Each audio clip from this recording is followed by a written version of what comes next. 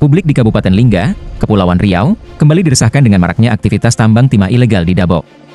Diduga beroperasi sejak lama dan melibatkan oknum aparat penegak hukum, aktivitas ini menyebabkan kerugian negara yang signifikan dan kerusakan lingkungan yang memprihatinkan. Media Gerbang Group mencoba mengkonfirmasi hal ini kepada Polda Kepri, namun terkesan menemui jalan buntu. Polda Kepri beralasan Kapolda belum bisa ditemui dan Kabah Humas tidak berada di tempat, sehingga Gerbang Group diarahkan untuk berkomunikasi dengan Polres Lingga. Tanggapan Polda Kepri ini menimbulkan kesan saling lempar tanggung jawab dan enggan menanggapi wawancara dari media.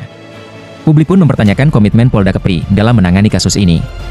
Sementara itu, Polres Lingga melalui Kasih Humas itu Indra Gunawan, menyatakan akan melakukan penyelidikan dan turun ke lapangan. Namun, itu Indra Gunawan menegaskan sejauh ini tidak ada permasalahan dan menilai kerjasama dengan pihak pemerintah berjalan baik. Besarnya potensi kerugian negara dan dampak lingkungan yang ditimbulkan mendesak Komisi Pemberantasan Korupsi, KPK, untuk segera turun tangan. Publik menaruh harapan besar pada KPK dan aparat penegak hukum lainnya untuk mengusut tuntas kasus ini. Tindakan tegas akan memberikan efek jera bagi para pelaku dan mencegah terjadinya praktik serupa di masa mendatang. Penertiban tambang ilegal juga penting untuk menyelamatkan lingkungan dan menjamin kelestarian sumber daya alam bagi generasi mendatang. Ronnie War, Gerbang TV, Lingga, Kepulauan Riau.